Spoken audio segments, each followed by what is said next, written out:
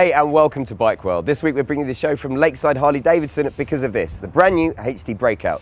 I'll be putting this through its paces later on in the show, but unfortunately for you guys, Susie is off sunning herself somewhere, so you're stuck with me. Here's what I've got lined up for you. We take an in-depth look at what's available in the world of Bluetooth headsets in Bike World on Tour. And we have a new section of the show in which we're going to bring you some awesome footage of the brand new KTM Duke 1290 in action, plus a video of what happens when Valentino Rossi has a playdate.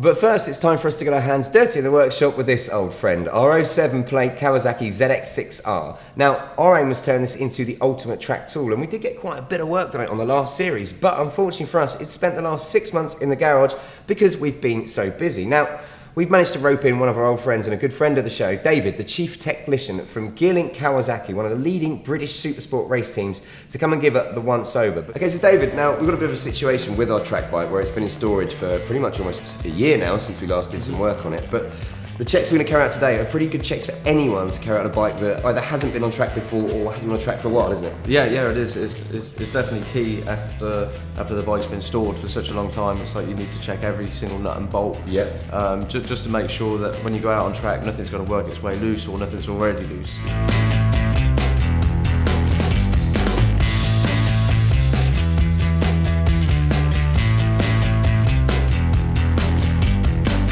David, actually quite glad we got you to uh, perform this check because you found something wrong with the bike, didn't you? I, I did indeed, yeah. Through my checks, I found that your rear disc was warped. Um, how badly is that? Um, it's it's enough to notice probably through riding. As I spin your back wheel, you can see the pads moving through throughout the duration of the disc. So I'd strongly recommend we change that before you do anything on track.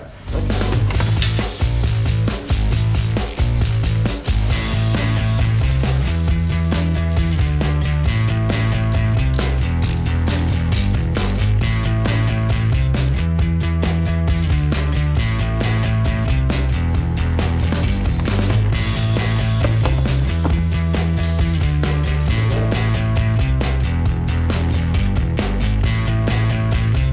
Okay, so you've given a, a, nuts and bolts check. Notice that the rear disc needed to be replaced. There was a bit of a wobble on that. You've also done the air filter and the oil filter and changed the oil. So it's pretty, you know, good little service you've done at the moment, David. Um, what's left to do? Right, well, we're, we're at a stage now where we can just start the bike up and just check the oil level, make sure the bike sounds good, and, and then you'll be ready to roll.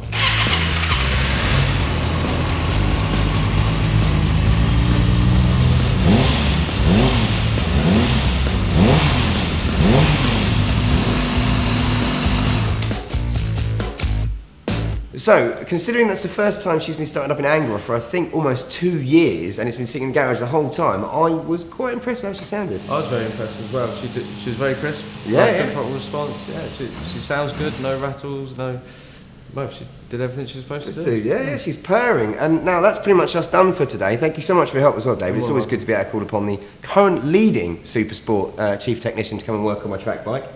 Um, but, what would you recommend as the next things to do? Because we've done, as I mentioned at the start, you know, chains, sprockets, tyres. We've done so much. There, there's not a long way to go, is there? There's not a long way to go. If you wanted a little bit more performance, I'd probably recommend like some fuel and injection unit. Yeah. Um, and it, that, that will basically just give you a little bit more torque, a bit more horsepower. It's a decent power commander, and it'll allow you to, as you say, modify it a little bit for each track as well. Yes, yes, it would. Yeah, yeah.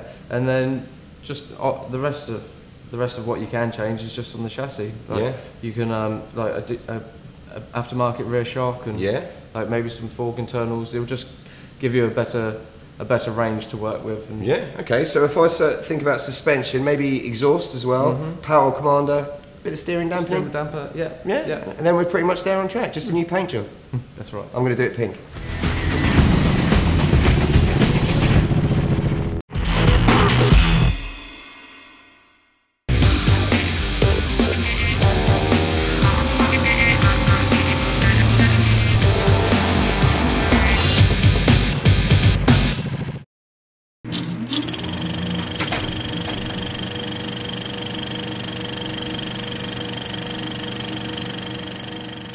2013 then. It's quite a big deal to Harley Davidson because it marks the 110th anniversary of the brand. And you know what? Harley Davidson during those years has completely dominated the cruiser market. But it's more than just a motorcycle brand. I mean, people around the world, even if they've never seen a motorcycle in the flesh, will have heard of a Harley. And to many, it's even more than that. It's a proper lifestyle, it's a passion. But the problem is, is in the last few years, there's been a few pretenders to their throne. While Harley have been doing their classic thing with the old style and the old technology, some new manufacturers have come in and pushed on, especially in the muscle cruiser category, things to the next level. Thing is, while Harley's rivals maybe took the technology game and stakes up a little bit, it caused a bit of an issue for Harley because they're all about tradition and classic designs and classic technology.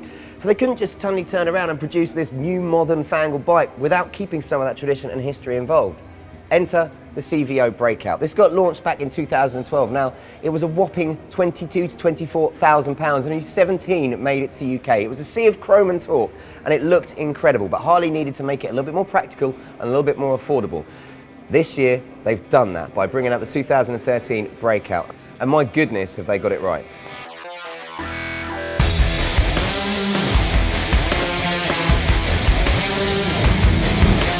Now, as we know from hanging around with the Bike Shed Motorcycle Club recently, retro has never been so cool. And what Harley have done with the Breakout is very, very clever. They brought a young design lead to come in and while retaining all the classic lines and looks and traditions of a Harley, make some subtle changes that just bring it up to date.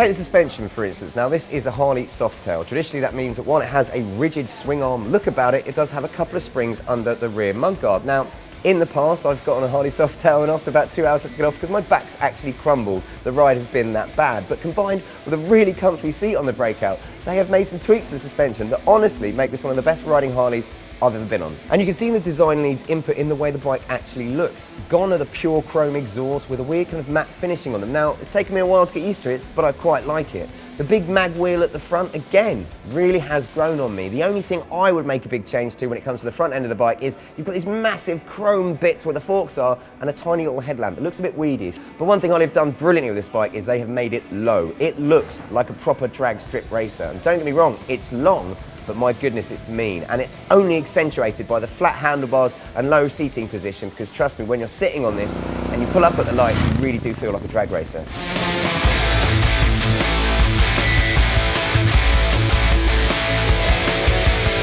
Something Harley Davidson have always had, I suppose, in the bank over their rivals is build quality, and that's something that the Breakout doesn't let you down on. This bike is beautifully put together, and I'm not just talking about the overall finish, I'm talking about every little detail. Every bolt, every piece of chrome, every braided hose, it's just put together beautifully and the bike looks like a work of art.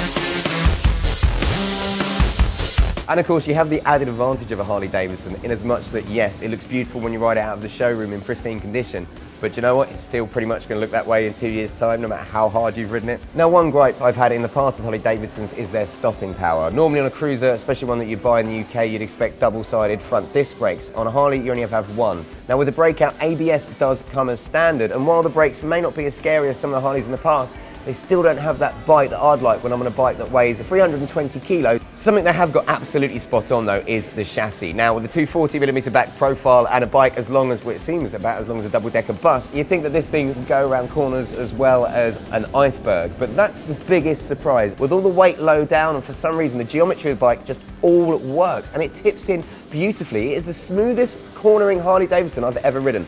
But this brings me on to a bit of a gripe. Now, it may seem minor, but the pegs. Why make a bike that can go beautifully round corners and then restrict it to a 22 degree lean angle because you've got pegs that are really low on it?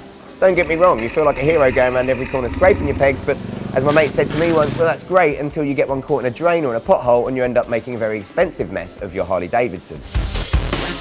Now it would be impossible not to mention the rear end of the Breakout. It is one sexy behind. Yes, it's got a 240mm back tyre like my old Hammer did, but there's something about the way the Softail just sits over the frame of that tyre that just looks wicked.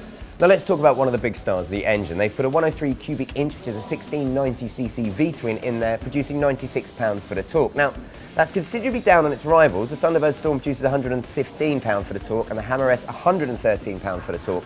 But it's still enough to give it some go. And the great thing about this engine is the way it delivers it. It truly is smooth, progressively working through the torque curve, and not as snatchy as some of the other muscle cruisers that we're used to. So while it may not be as much of a hooligan as some other muscle cruisers, it really does allow you to work the engine for a very smooth gearbox and probably match them in performance stakes. So we're talking about a Harley engine here with loads of character, and I'm not just talking about the traditional kind of bobbery character, we're talking about one with real performance, an engine that really wants to be ridden. Another great thing about the engine is the noise it makes. Now, the standard cans don't really do it justice, but if you put on some aftermarket cans for about a grand, 1500 pounds, it will sound spectacular and exactly how you imagined it should do. Price-wise, the Breakout starts at 15699 which is much more expensive than its rivals, but you've got to take into account the build quality, the reliability, the dealer network, and the fact Harleys actually retain value. I'll give you one example. We chatted to a guy who had one of the 17 CVO breakouts in the country earlier, and while he bought the bike for £22,000, before he'd even taken delivery of it, someone had offered him 44000 for it. So not only was he getting a bike he's going to have a lot of fun on, but it was actually turning out to be a rather sweet investment. So I can't believe I'm saying this about Harley Davidson. They have made not just a brilliant HD, but a very good bike. And the first Harley Davidson I would recommend as a rider's bike. But something interesting happening in a few weeks' time. There's an Indian coming out.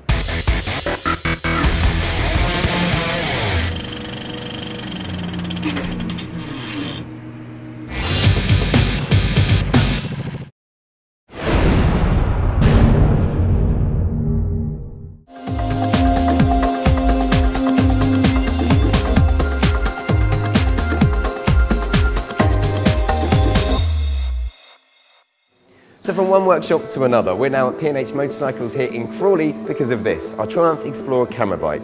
Now you might remember in the first segment of Bike World On Tour, we had some Triumph OE panniers fitted.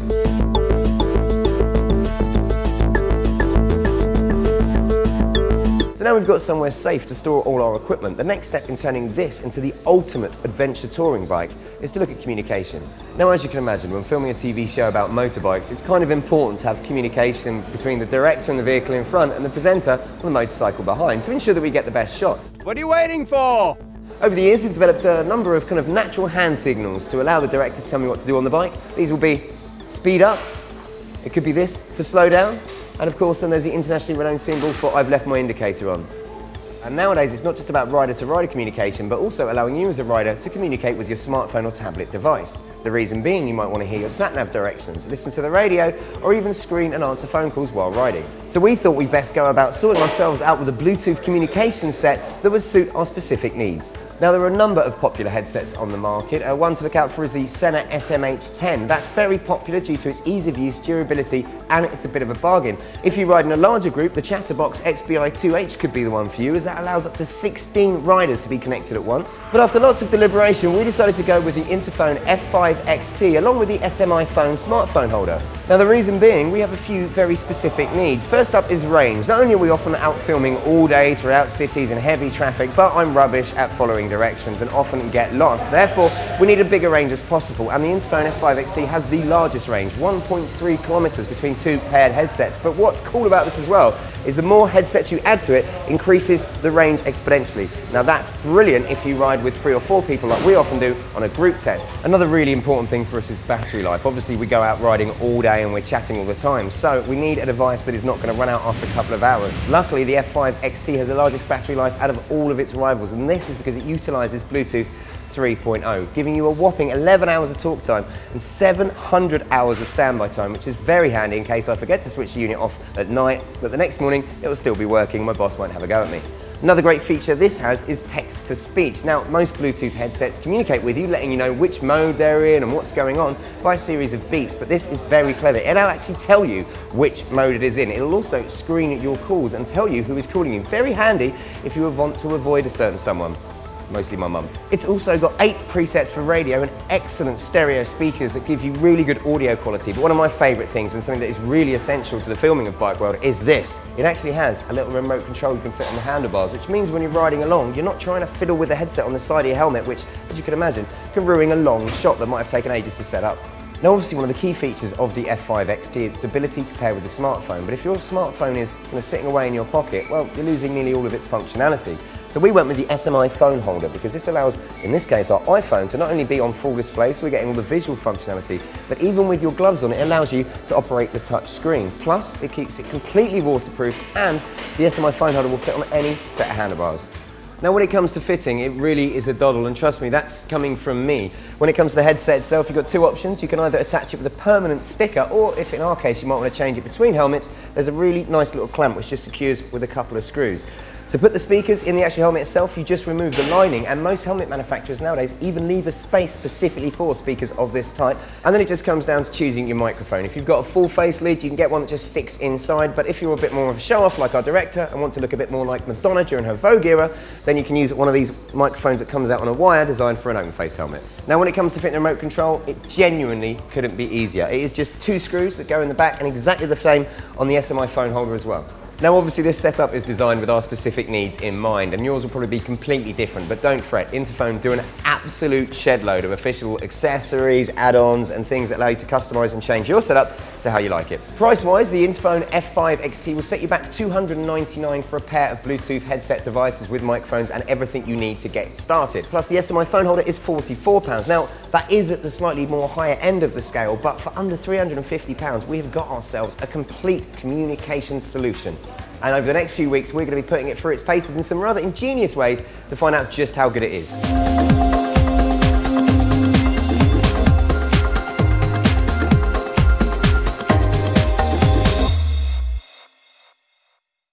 Welcome to a brand new segment of the show in which we're going to bring you all the coolest motorcycle videos from around the world.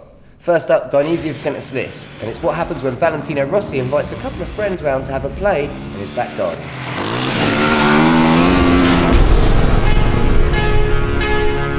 It's like a dream from when you are a child, no? You hope that at one moment you can buy your own racetrack. Around three years ago, we find this place that is very close to Tavullia, very close to my house. We build every corner. This track is uh, something special.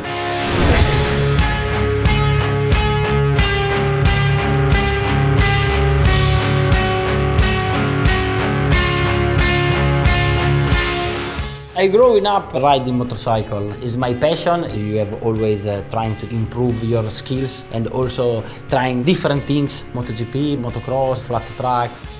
Coming here alone, uh, never. Always ride with friends. È un idolo e girare oggi con lui per me è come un sogno, sono troppo contento, sono come un bambino. Rossi's legend, isn't he? What, what more can you say? And to do stuff like this, I think fair play. So I'm very curious to see what's happened. Thomas from the Supermotard, guy from the TT, very high level rider, but coming from another place, you know? We were just driving down from the top of Tavullia down here and you could see it. And I thought, what is it? Is it a tarmac track? It's hell of a size, isn't it? Eh, non lo so, io non ho mai girato su un terreno così, vediamo dopo come, come si fa. E...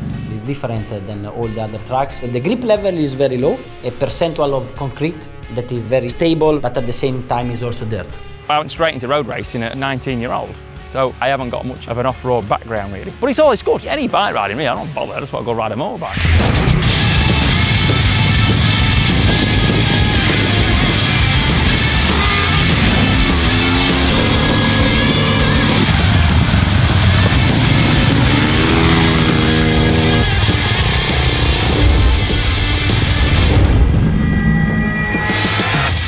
Everybody have great fun to ride in this track. All the riders stop with a big laugh. I know loads of lads in motorbiking, you know, speedway lads, motocross lads, flat track lads. We're all singing off the same shape. We just want to go and ride a motorbike. During the summer, we always make races, so we have to understand which one is the best. I think I'm faster, yeah, because I have more experience in this place. I don't know. I don't know. So we'll see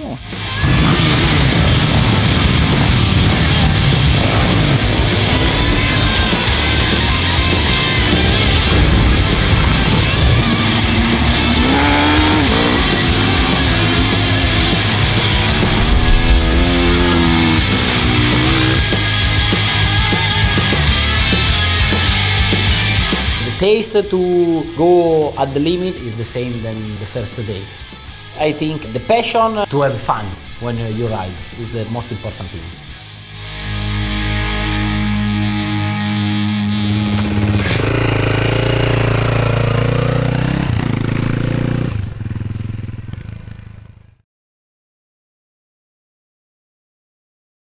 Now, probably the most anticipated bike of 2013 is the KTM Duke 1290, aka the Beast. We cannot wait to get hands on this bike, but it's not coming out till later in the year. Luckily for us, though, we managed to get our footage on what happened when it was debuted for the first time here in the UK when Jeremy McWilliams rode it up the hill at the Festival of Speed.